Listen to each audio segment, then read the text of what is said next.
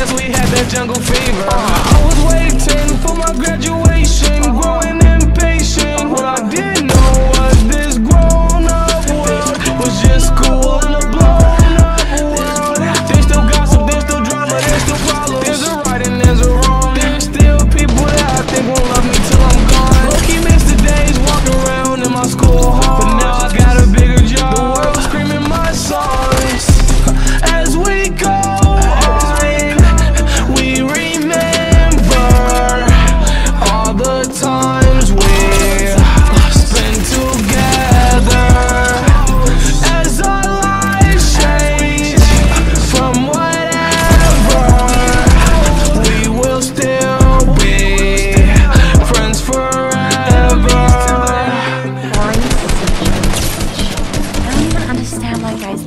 She's not even cute. She's not even pretty. Have you seen how much makeup she wears? And by the way, she facetunes her pictures so much.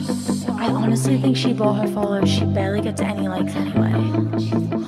And you want to know the craziest part about all of it? She doesn't even have any idea her boyfriend's been cheating on her this entire time.